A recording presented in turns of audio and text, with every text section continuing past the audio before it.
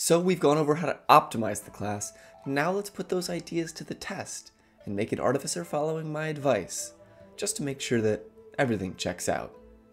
We begin by doing this. All of that had nothing to do with the class, so I skipped it.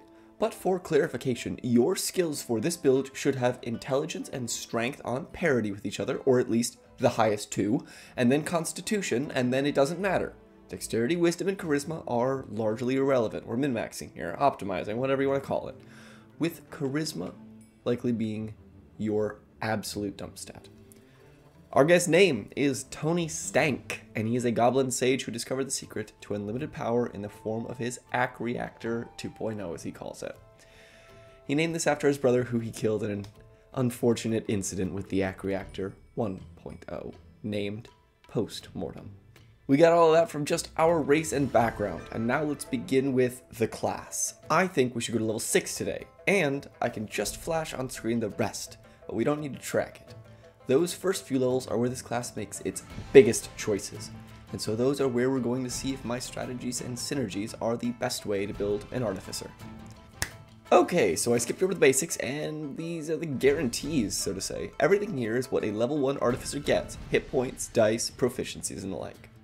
For this build, I chose Arcana and Investigation for my skills, Smith's Tools for my extra tool proficiency, a dagger and mace for my simple weapons, and using the optional rule in Tasha's, I grabbed firearm proficiencies, as nowhere do they make more sense than with this class. Even if we may not use them today, they're always useful to have. At level 1, the only choice to make is what cantrips to take, but to know that, you must know what subclass you intend on taking and what role in combat you plan on holding. So today, with obvious inspirations being what they are, we're going to go armor eventually. And so here at level 1, let's plan for that. Eventually we'll get either a melee attack or a ranged one. So deciding now, let's go with... Guardian. Since our stealth sucks anyways, and we have disadvantage from our armor, might as well be loud and tough rather than average at stealth and weak. Knowing that, we should take a ranged attack cantrip, one that pulls people in close.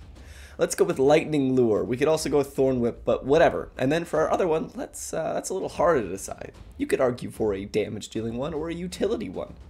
I'm gonna go with Firebolt, but I don't really think there's a wrong choice here with your second cantrip, assuming you follow the same guidelines as your first and don't take like Thunderclap or Resistance. We could also fill out our first level spells and prepare these ones.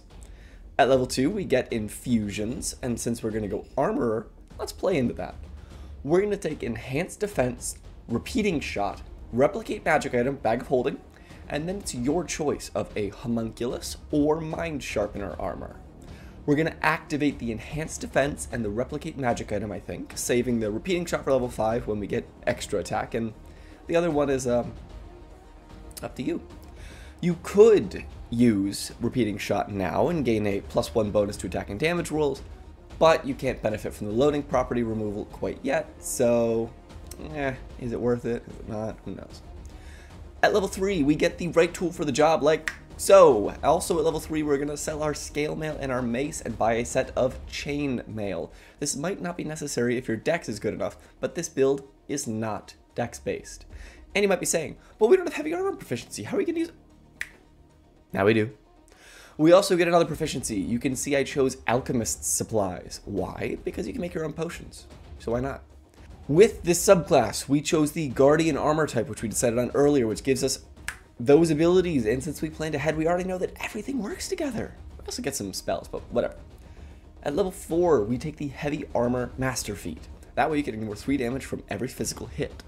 Alternatively, you could take an ability score improvement to raise your stats, prioritizing intelligence or strength. And looking ahead to level 6, as we get an opportunity to raise the other one, make sure to pick the lower of your two stats. You'll see why later.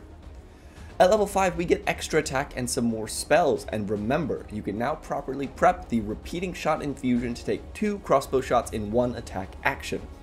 So now, you might actually want to do that. And at level 6, we can choose two new infusions and prep one of them. Depending on the ASI you took before, take either the Gauntlets of Ogre Power or the Headband of Intellect, as they raise either your strength or intelligence to 19 respectively. And for our other infusion, I don't know, let's, let's go with resistant armor, though we're not going to prepare it right now. And then, like I said at the top, we're stopping here. But here is the rest of my plan for this build.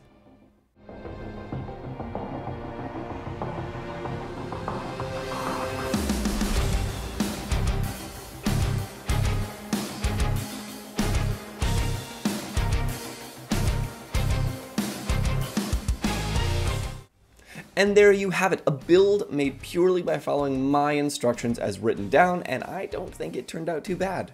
What do you think? Be sure to comment down below the characters that you made by following my optimization video, and subscribe here as this is definitely a series that I will be continuing. Eventually, I hope I'll get to every class in the game. Also, make sure to go ahead and check out the Patreon, even if it's just to download the free homebrew pack that is there for everyone, as well as our Twitch, Twitter, and Instagram. We'll get back to streaming live I hope, soon. But uh, I guess with that, we're done for today. So, have a good weekend, guys. Bye.